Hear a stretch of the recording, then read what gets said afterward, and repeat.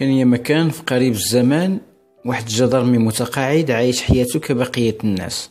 ما كيتعدى ما يجبد عيب ما حتى شي حد. وما كيخلط حتى الناس وما كيشري أو يبيع في العيب. دخل سوق راسو مقابل شغلو في ديك الفيرما اللي كاسف واحد الدوار ديال الكوديا في جماعة المشرك بسيدي بالنور لكن في بعض الأحيان واخا كتدخل سوق راسك بنادم ما كيخليكش هاني وهادشي اللي وقع مع هاد الجدرمي اللي كان عايش بوحدو في دار في ديك الفيرما كان مقابل الفلاحة والخدامة مادام مازال فيه ما يخدم. كان بعيد على بنته ومراتو اللي كانوا مازالين ساكنين في مدينة مراكش. السيد مرة مرة كان كيدوز الليل في واحد البراكة عنده في الفيرما مادام ما عنده عيب مع حتى شي حد ما عنده مناش يخاف داخل سوق راسو ومهني راسو من المشاكل وما حسابوش مسكين باللي شي دياب كيخططوا وعمالين عليه واخا مسكين ما عنده معاهم حتى شي حساب باش يصفيوه معاه. هذه شي 8 شهور تقريبا وفي واحد الصباح جا واحد électricien عنده للفيرما. جا باش يدير ليه شي bricole لكن المفاجأة كانت صادمة. شافو طلقها بغوتة ما عرفش باش تبلا ولا شنو وقع ليه كان الجدرمي مسكين مكبل من يديه ورجليه وهو جثة هامدة وسط الفيرما الشي اللي كتبكيه جريه كما كيقولوا المغاربة وهذا الشيء اللي دار هاد التريسيان. اتصل بالمقدم ديال الدوار والمقدم خبر القايد والجدرميه اللي جاو وجاو بتعزيزات وفيهم حتى ديال سيدي بنور الجريمه روعات كل شيء المنطقة ما معتاداش على مثل هاد الجرائم. الناس مسالمين عايشين حياتهم بلا مشاكل. الجدرمية ديال بني هلال وسيدي بنور عينوا الجثة ديال صاحبهم المتقاعد وصوروها وداروا محضر معاينة قبل ما تتهز الجثة لامورغ باش تشرح وبدا التحقيق. وما كان سهل من الأول باش يوصلوا لشكون صفاها للضحية مسكين الله يرحمه. لكن التحقيق ما تعطلش بزاف. الجدرميرو تريتي كان عنده مشاكل مع خوه وولادو حول الإرث. بعدما كتب لبنته كل ما يملك. وهذا الشيء اللي كشفت بنته للمحققين بعد ما استمعوا لها كشاهدة بعد ما جات من مدينة مراكش. المشكل بينه وبين خوه كان وصل للمحاكم وتعرض أمام المحكمة الابتدائية في سيدي بنار. مع التصريح ديال البنت ديال الضحية كان لابد من الجدرمية باش يستمعوا لخوه لولادو شي 15 لواحد من الأقارب ديالو استمعوا ليهم في محضر رسمي. خداو الأقوال ديالهم لكن البحث معهم ما وصل حتى لشي حاجة. واخا متخاصمين ما يقدروش يقطعوا في خوهم أو توصل بهم الأمور لدرجة التصفية ديالو.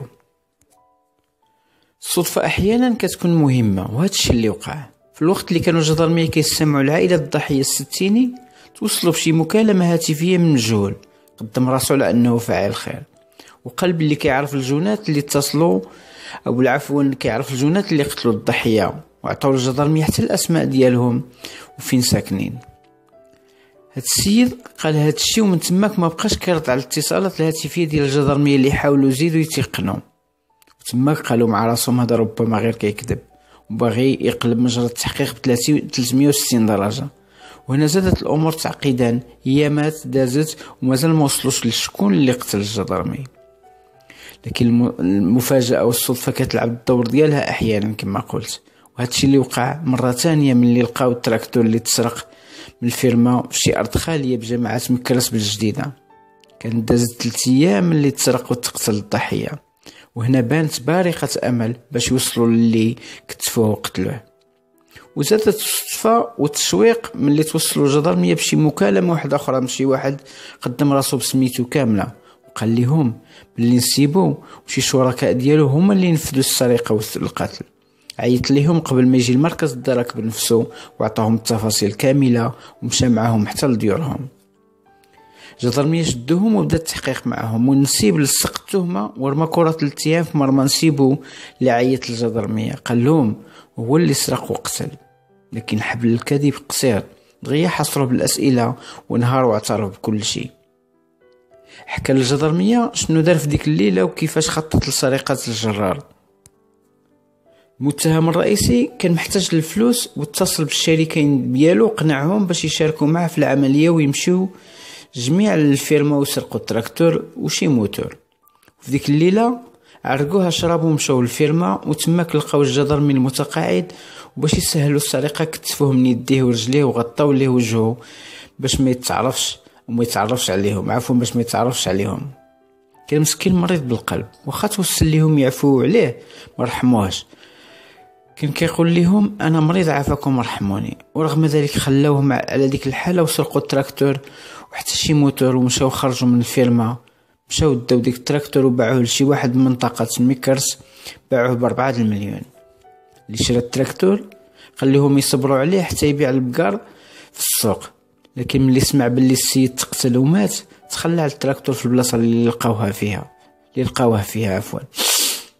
حتى هو كان عنده مساءلة قانونية حيت شرا المسروق وما بلغش من اللي ساق الخبر باللي مول الموتور مات.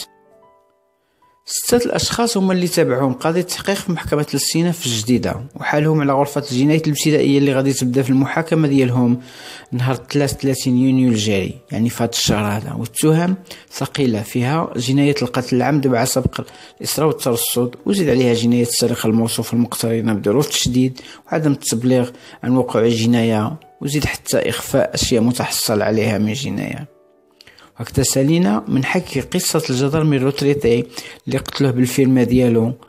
لكن القصة والفصول ديالها مازال مستمرة ومازال ما تسالات في انتظار ما ستسفر عنه المحاكمة ديال المتهمين. في انتظار ذلك دمتم أوفياء للقناة وشكرا على التتبع ديالكم. وما تنساوش تابونا وديروا لايك وتفعلوا مع كل فيديو ننشره.